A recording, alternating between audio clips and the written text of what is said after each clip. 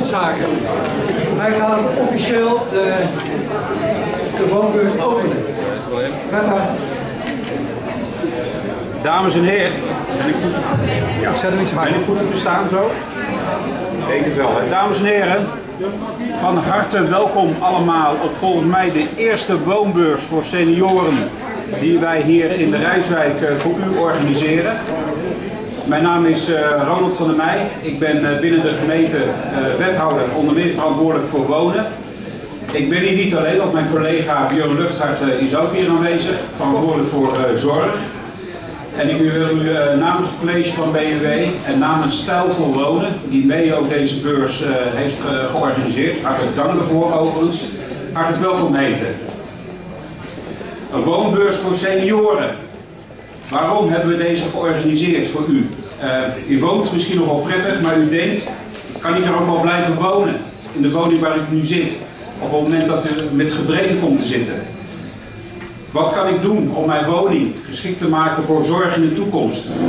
Of wellicht heeft u wel plannen om te willen verhuizen. Uw woning is daar groot, te veel trappen en dergelijke. Maar wat is het geschikte aanbod wat wij in Rijswijk hebben? Waar kan ik dat vinden? En is het ook financieel haalbaar voor ons? Of u denkt, niet de woning is het probleem, maar wel de contacten die ik heb. En die steeds minder worden. Voor het antwoord op, op al deze vragen hebben wij deze beurs eh, georganiseerd. Op deze beurs vindt u aanbieders van woningen, zowel bestaande als nog te realiseren woningen. Daarnaast zijn er aanbieders van nieuwe woonconcepten. Ik heb van een aantal mogen gezien. En, tussen en om 12 uur en 2 uur zullen deze aanbieders ook hier, net als ik, een korte lezing hierover houden. Er zijn partijen die u kunnen vertellen over uw zorgvragen, over welzijn en over het verbeteren van uw veiligheid. Ook de oudere bonden zijn aanwezig en ook de beide corporaties die Rijswijk heeft, Rijswijk Wonen en Fidomus, zijn aanwezig en ook gemeentelijke ambtenaren zijn aanwezig naast wij als wethouder. Inspelen op de behoeften van de vergrijzende bevolking. Meer samenwerking tussen partijen ter verbetering van de zorginfrastructuur.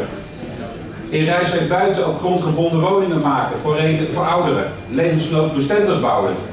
Aandacht voor de omgeving, sociale context, medische voorziening en veiligheid. Allemaal thema's waar we uitgebreid beleidsmatig in onze woonvisie aandacht aan hebben besteed. Gerda Zijm, ik ben eh, consulent eh, op het zorgloket van de gemeente Rijswijk. Het zorgloket voert de wet maatschappelijke ondersteuning uit en dat wil zeggen dat eh, wij willen de burgers van, eh, van eh, Rijswijk willen ondersteunen in het zo lang mogelijk thuis wonen en ook in het kunnen blijven participeren met een mooi woord in de samenleving. U kunt bij het zorgloket terecht voor adviezen en u kunt iedere ochtend even bellen tussen half elf en 12 uur. En u kunt ook denken aan bijvoorbeeld hulp bij huishouden, woonvoorzieningen, vervoersvoorzieningen. We horen u graag en eh, adviseren u graag over te nemen stappen. Tot ziens! Even, ik ben van de generatie thuis. We laten hier vandaag op deze woonbeurs eh, twee dingen zien. Dat is een huistest waarin je woning kan langslopen om te kijken of die levensloop geschikt is. Naar veiligheid, comfort en dergelijke. En we hebben een demonstratieopstelling van een aantal hele praktische kleine elektronische dingetjes. Een alarm, die alleen ziet dat alarm het doet, maar ook waar je bent. Tot en met een deurbel die niet alleen geluid geeft, maar ook licht.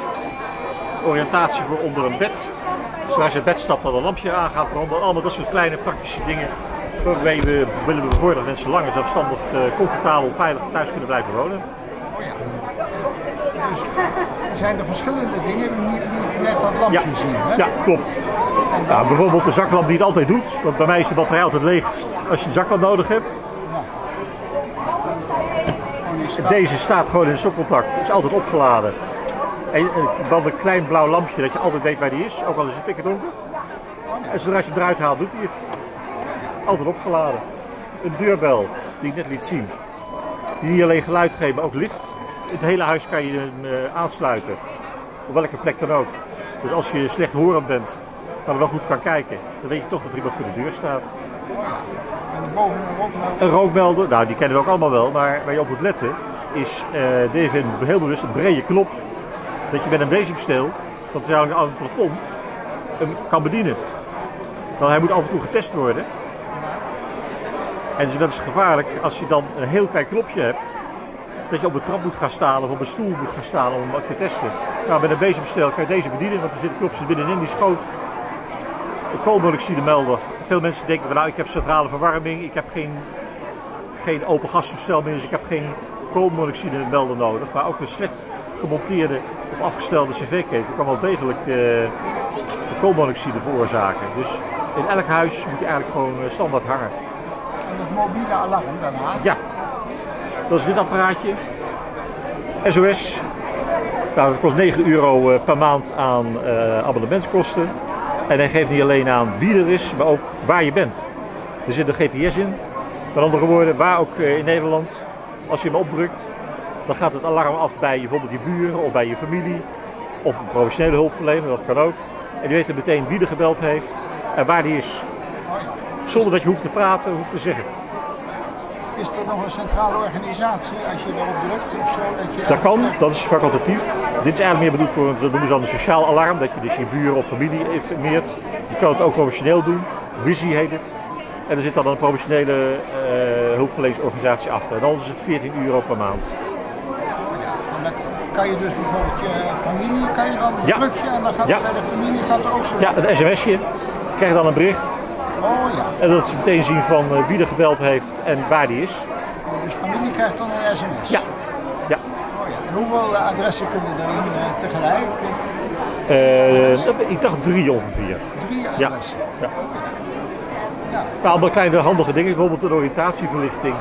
Ook wel leuk om te zien. Deze schuif je onder het bed. Er zit een batterijtje in. En als, zodra je uit bed stapt, dan zitten hier sensoren in, voelertjes die zien dan dat er beweging is en dan gaan de lampjes gaan branden. Waardoor je, uh, want als het s'nachts uh, is het best wel lastig als je uit bed stapt om je te oriënteren.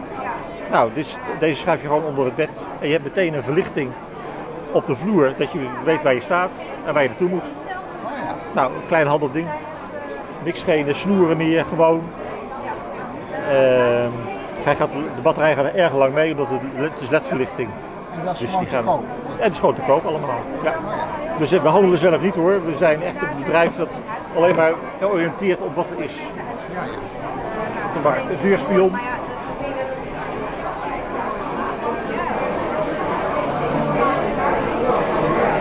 En het leuke daarvan is dat hij ook uh, een foto maakt zodra er wordt gebeld. Er zit een geheugenkaart in, dus ook als je zelf niet thuis bent, dat je wel weet wie er geweest is. En wie er, wie er gebeld heeft. Oh ja, en moet je er, is dat ook een huursysteem? Of? Nee, dit is eenmalig een aanschaf. Uh, die geheugenkaart is wel, een, is wel een, iets, iets extra's. Uh, het is ook een stukje veiligheid natuurlijk. Oh ja, waar kan je dat kopen? Bij elke uh, doe-het-zelf-zaak is dat, uh, is dat te koop. De, de betere elektronica zaken of ehm, gereedschapshandel en dergelijke. Dus hij maakt een foto van iemand die aan de deur staat? Ja. ja. En dan kan je zien wie er geweest is? Ja, precies. Ja. Postopvangbak via internet uh, te koop. Zodra de postbode geweest is. En hij doet er in. Dan schrijft hij open. En komt de brief of de envelop, de krant, in de opvangbak. Hoef je niet meer op de grond te bukken. Maar hij vangt hem zo op deze manier op.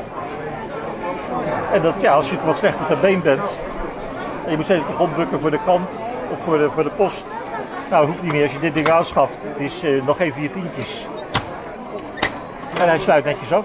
Als je dan weg bent, een paar dagen weg, dan, mag je, dan kan je dat ding moeilijk gebruiken. Hè? Ja. Dan zit hij gauw vol. Hè? Dan, is hij, dan, gaat, dan zit hij vol, dat klopt. Dat klopt. Zou, zou daar ja. kijken? Dank u wel. Ik ben Tom Turkburg van de brandweer in Rijswijk. Uh, ik sta hier nu op de senioren woonbeurs in uh, Rijswijk en wij geven de mensen advies hoe zij hun woning veiliger kunnen maken uh, met betrekking tot het ontkomen van een fatale brand. rookmelders is een belangrijk punt. De, de route om te ontsnappen is heel erg belangrijk. En voor die mensen die geïnteresseerd zijn, hebben we een folder brandveilig wonen.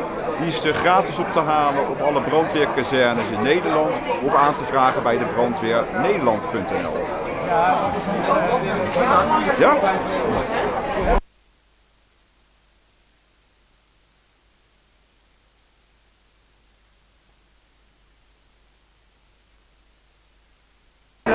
En ik ben Nini Schubat en ik werk voor locatie Steenvoorde. Kent u locatie Steenvoorde? Een heel mooi woonzorgcentrum in Rijswijk. En behalve dat u bij ons kan wonen in allerlei woonvormen, kunt u ook bij ons eten met de Florenspas tegen gereduceerde prijs. En u kunt bijvoorbeeld bij ons naar theater. Wij hebben heel vaak een klassiek concert. En we hebben een heel mooi zwembad waar u met de Florenspas tegen gereduceerde prijs kunt zwemmen. Maar ook kunt u bij ons sporten. We hebben een sportzaal. Zo hebben we heel erg veel faciliteiten waar u misschien niet eens van weet. Dus ik zou zeggen, kom eens langs. Je kan langskomen bij Florence. Heeft u een uh, kantoor of een winkel? We hebben een receptiebalie en die kunnen u verder helpen. En u kunt uiteraard altijd het hoofdkantoor, het cliëntcontactcentrum, bellen. En daar wordt u ook verder geholpen. Wil je uw telefoonnummer zeggen?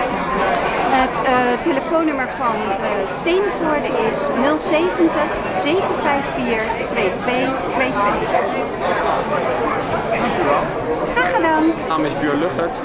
Ik ben wethouder sociale zaken, zorg en volksgezondheid in de gemeente Rijswijk. En zoals u ziet zijn we hier op de woonbeurs voor senioren. En het is een uh, daverend succes. Om tien uur stonden de eerste mensen al uh, voor de deur. Iedereen is nu in diverse uh, werkgroepen uiteengegaan. Ja, het is hartstikke druk, dus je ziet dat er een enorme behoefte in Rijswijk bestaat aan dit soort initiatieven.